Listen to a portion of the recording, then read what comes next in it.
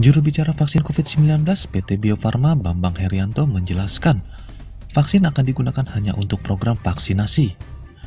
Menurutnya, penggunaan vaksin telah mendapatkan persetujuan dari Badan Pengawas Obat dan Makanan atau BPOM dan bukan sebagai vaksin untuk uji klinis. Vaksin hanya akan digunakan untuk program vaksinasi setelah ada persetujuan penggunaan darurat yang dikeluarkan oleh Badan POM dan bukan sebagai vaksin untuk uji klinis. Bambang membantah pemberitaan yang menyebutkan bahwa vaksin COVID-19 yang berada di PT Bio Farma saat ini adalah vaksin yang digunakan sebagai uji klinis.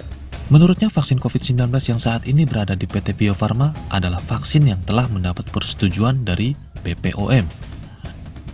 Sehingga menurutnya, kemasannya pun akan berbeda dengan kemasan vaksin uji klinis.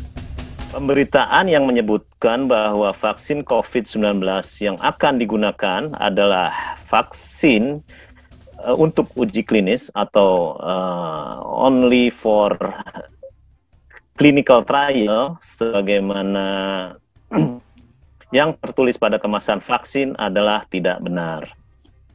Jadi vaksin COVID-19 yang saat ini sudah berada di Bio Farma dan akan digunakan untuk program vaksinasi nantinya akan menggunakan vaksin yang telah mendapat izin penggunaan dari Badan POM sehingga kemasannya pun akan berbeda dengan vaksin yang digunakan untuk keperluan uji klinis.